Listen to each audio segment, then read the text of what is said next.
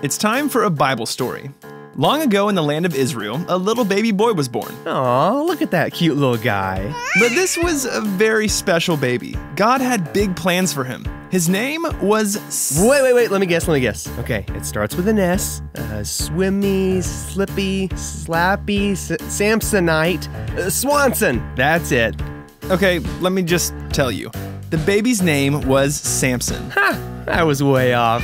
After Samson was born, an angel appeared to his mother and gave her a very important message. God was going to use Samson to do some amazing things, but there were a few rules that he would have to follow. Oh, I got these covered. Here we go. Rule number one don't walk on the grass. No.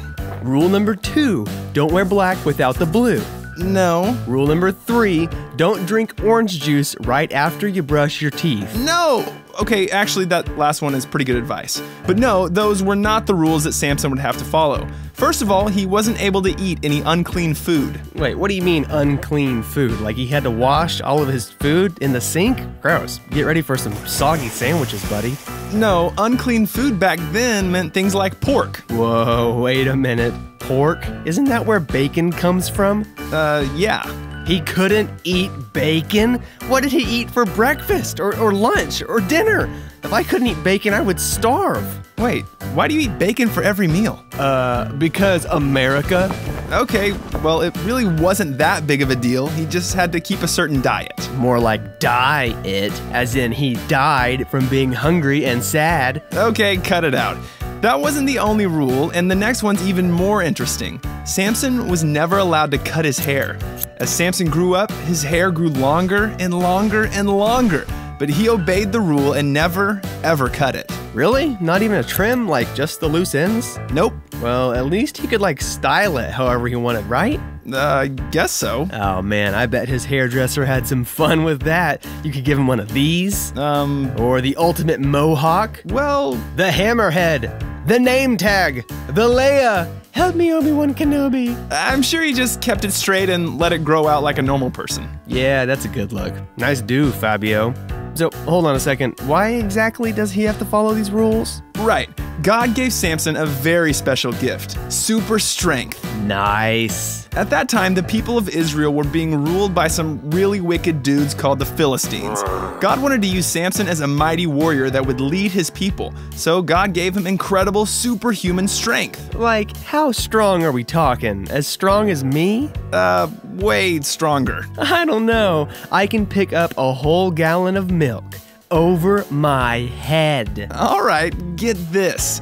One time, Samson was walking along in the desert, and out of nowhere, a giant, ferocious lion attacked him. Yikes. That's probably the end of the story, huh? Bye bye, Samson. Nope, Samson grabbed a hold of the lion and tore it to pieces. Whoa, that's crazy. Give me another one. All right, Samson was trapped in a city by some Philistine soldiers. They locked the huge metal gate and were going to ambush him. But that was no problem for Samson. He just ripped the gates off the city walls and carried them away. Dude, now that's an exit. Bye, Felicia. Hit me again. Okay, one more. Another time, Samson was surrounded by a thousand Philistine soldiers. They all had swords and shields and spears, and all he had was a jawbone from a donkey he found on the ground. Yowza. Looks like that's all she wrote. We'll miss you, big guy. Not so fast. The Philistines charged, but Samson fought back and totally wiped them out. What? He killed a thousand soldiers with a donkey's jawbone? Yep, Man, he really does have some crazy, mega awesome super strength. He could probably do whatever he wanted throw a baseball around the earth, arm wrestle a bunch of bears, bench press the pyramids. but remember, he would only have that power if he followed those rules. Ah, that's right. No Snippy, no Piggy. So what happens next? Does he like save the day and rescue the people of Israel? Not exactly. For years, Samson followed the instructions that God gave him and was a great, strong leader. But after a while, he got a little careless with who he was spending his time with. He met a woman named Delilah, but he shouldn't have been hanging out with her. Why not? Was she smelly?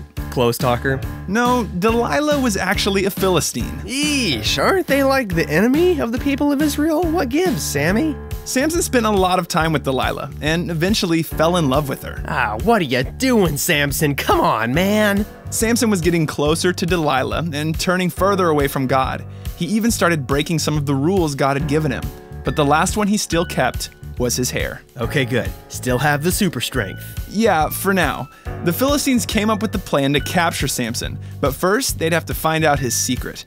They made a deal with Delilah to find out what made Samson so strong, and she agreed to help them. What? I knew she was no good. That girl is poison. No kidding. Night after night, Delilah begged Samson to tell her the secret to his super strength.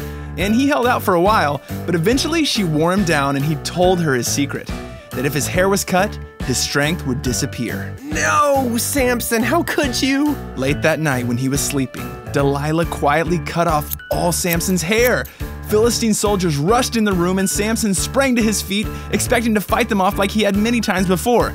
But this time was different. Oh, something's different, all right. Run for it, Goldberg! He tried to run and fight, but his strength was gone. The Philistine soldiers laughed as they tied him up, carried him away, and kept him as a prisoner for the rest of his life. Man, that totally stinks. He had like so much going for him. What happened?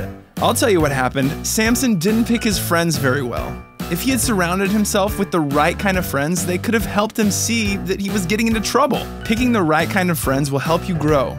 But just like Samson, the wrong kind can destroy you. Got it. Oh, I gotta go. It's about that time. What time? It's bacon 30. Gotta go heat up the stove. I'm coming, piggies! Ah, the end.